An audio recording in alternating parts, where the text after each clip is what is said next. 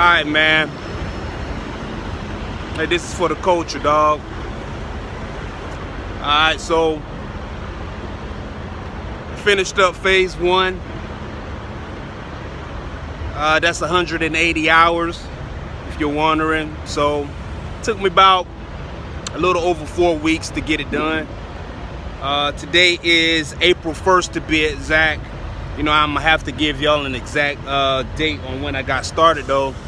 Uh, but I finished up um, phase one, uh, 180 hours. I uh, took roughly uh, four weeks, man, a little over four weeks to get it done. Um, the money wasn't that great. I'm gonna go ahead and be honest, man. The money wasn't that great. Uh, I made $80 a day, uh, whether I drove seven hours or or if I drove 11 hours, it was still $80 a day. Um, uh, was told, uh, or what I was expecting was the state's minimum wage. Um, some states, you know, they make $10 an hour. Uh, minimum wage in my state is like $9 an hour. Um, so if I was to drive, you know, like I said, 11 hours or be on duty for 11 hours, you know, so I would be expecting $99, but that wasn't the case. Still all good. You know what I'm saying? I, you know, I, uh, at first I wasn't really uh, focused on making a lot of money. You know what I'm saying? I was just trying to get the experience under my belt, right?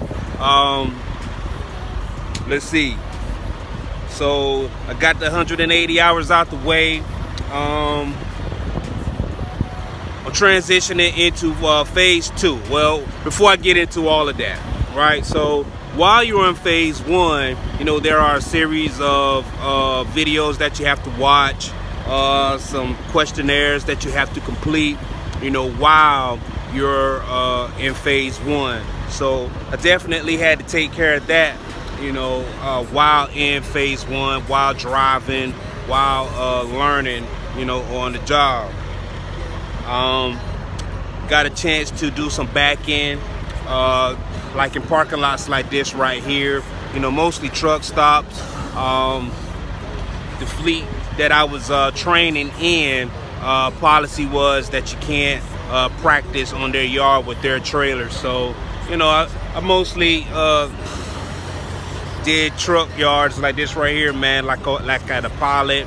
Uh, or this one right here is a Love's, which is one of the uh, truck stops that we use normally. Um, let's see what else, man.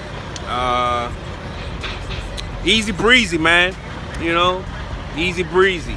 Got through it, knocked it out. Uh, my trainer, you know, he did his thing. You know, we uh, he let me drive as much as I want. You know, as much as I needed. You know, I, I should say, man, to go ahead and get it done in a timely fashion. Uh, right now, we're on our way to um, with an empty trailer. As you see that behind us, man, we're on our way um, to Fort Pierce, Florida, uh, to get this tr this trailer loaded, and I think we're going to take it back to California. Uh, that's the case right there, man. So I'm going to upgrade out there.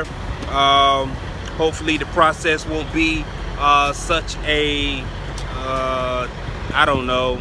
It won't be a hard process, man. From what I've been doing uh, from a research, man, I, I kind of saw that it's to be, you know, a day or two, and then boom, you're done. You got your truck and you're ready to ride with your partner, whoever that may be, man. Hopefully that's a cool person. Um, but yeah, man, like I said, phase one, man, it is a wrap. It is over with, dog. So, with that being said, man, hey, I'm to go ahead and try to check in with y'all a little bit later, man. Hey, man, this is for the culture boy. This is Uncle AK signing in, signing out. Peace.